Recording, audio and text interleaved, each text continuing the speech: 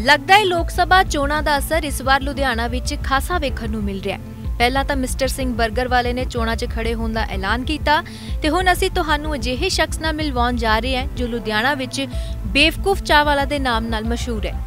ਨਾਮ ਹੈ ਰਾਮ ਸ਼ੰਕਰ ਗਿੱਲ ਰੋਡ ਤੇ ਚਾਹ ਦੀ ਰੇੜੀ ਲਗਾਉਂਦਾ ਹੈ ਤੇ ਲੋਕ ਸਭਾ ਚੋਣਾਂ ਦੀ ਖੁਮਾਰੀ ਇੰਨੀ ਚੜੀ ਕਿ ਇਸ ਵਾਰ ਜਨਾਬ ਵੀ ਲੁਧਿਆਣਾ ਤੋਂ ਚੋਣ ਮੈਦਾਨ ਵਿੱਚ ਹੱਥ ਅਜ਼ਮਾਉਣ ਜਾ ਰਹੇ ਨੇ।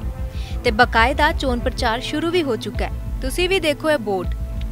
ਇਸ ਸੰਬੰਧੀ ਜਦੋਂ ਇਸ ਚਾਹ ਵਾਲੇ ਨਾਲ ਗੱਲਬਾਤ ਕੀਤੀ ਗਈ ਤਾਂ ਉਸ ਦਾ ਕਹਿਣਾ ਸੀ ਕਿ ਰਾਜਨੀਤਿਕ ਪਾਰਟੀਆਂ ਪਿਛਲੇ ਲੰਮੇ ਸਮੇਂ ਤੋਂ ਲੋਕਾਂ ਨੂੰ ਸਿਰਫ ਬੇਵਕੂਫ ਹੀ ਬਣਾ ਰਹੀਆਂ ਨੇ ਪਰ ਸੁਧਾਰ ਕੋਈ ਨਹੀਂ ਕਰਦਾ ਇਸ ਲਈ ਇਸ ਵਾਰ ਚੋਣਾਂ 'ਚ ਆਜ਼ਾਦ ਉਮੀਦਵਾਰ ਦੇ ਤੌਰ ਤੇ ਖੜਾ ਹੋਵੇਗਾ ਤੇ ਚੋਣ ਨਿਸ਼ਾਨ ਵਜੋਂ ਗਿਲਾਸ ਦੀ ਮੰਗ ਕਰਨਗੇ अब मैं एमपी बनना चाहता हूँ बेवकूफ़ चाय वाले या महाबेवकूफ़ चाय वाले थे क्योंकि जनता पाँच साल के अंदर ये देखेगी कि मैंने वोट किसी को दिया काम हुआ कि नहीं हुआ क्या काम किया क्या नहीं किया सारी सरकारें सारी सुविधाएँ सारी ऐसा करूँगा जो कि कुछ आगे बढ़ने के लिए काम हो और महाबेवकूफ़ बेकूफ़ जनता को ना समझे। जनता बहुत समझदार है। वोट देके समर्थन देते हैं। पार्टियों में फिर पैसे लेके बिक जाते हैं और जितने लीडर हैं वो काम नहीं करते हैं। काम करने में असमर्थ हो जाते हैं। तो आपका चोन चोन निशान क्या रहेगा? मेरा चुनाव निशान गिलास रहेगा। जो हर व्यक्ति के साथ है और हर काम में आता है जीते मरते दम तक चुनाव चिन्ह गिलास रहेगा। आपका क्या मकसद रहा कि जिस तरह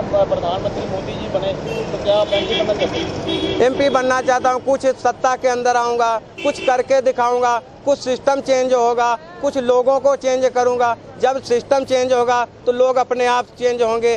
पहला नंबर एक बच्चे को सिखाया जाता है छोटा और दूसरा नंबर सिखाया जाता है इंग्लिश में ए और फिर तीसरा नंबर गिनती। चौथा नंबर इन्हीं लोगों से पहचान होती है और बच्चा आगे आगे जैसे जैसे पढ़ता है वैसे वैसे कामयाब हो। आपके मन में कैसे आया कि चुनाव लड़े जाए? चुनाव लड़ने का मेरा विचार था पहले से और कुछ कुदरती इनके लक्षण देख के जो सिस्टम देख के तो कुछ हमको भी आगे बढ़ने के लिए खोजा कुछ नाम कमाया जाए। बेवकूफ़ चाय वाले से थोड़ा थोड़ा मथोर होके। अब मेरी समझ में आया कि ये जनता को वास्तविक सरकार हमारी जो है ਬੇਕੂਬ ਬਣਾਤੀ ਹੈ ਔਰ 5 ਸਾਲ ਹਰ ਚੁਣਾਵ ਹੋਤੇ ਹੁਣ ਵੇਖਣਾ ਹੋਵੇਗਾ ਕਿ ਇੰਨੇ ਸਾਲ ਮੰਜੇ ਹੋਏ ਸਿਆਸੀ ਆਗੂਆਂ ਹੱਥੋਂ ਬੇਵਕੂਫ ਬਣਨ ਤੋਂ ਬਾਅਦ ਕਿ ਲੋਕ ਇਸ ਬੇਵਕੂਫ ਚਾਹ ਵਾਲੇ ਤੇ ਵਿਸ਼ਵਾਸ ਕਰਨਗੇ ਵੇਖਣਾ ਕਾਫੀ ਦਿਲਚਸਪ ਹੋਵੇਗਾ। ਲੁਧਿਆਣਾ ਤੋਂ ਤਰਸੇਮ ਭਾਰਦਵਾਜ ਦੀ ਰਿਪੋਰਟ ਡੇਲੀ ਪੋਸਟ ਪੰਜਾਬੀ।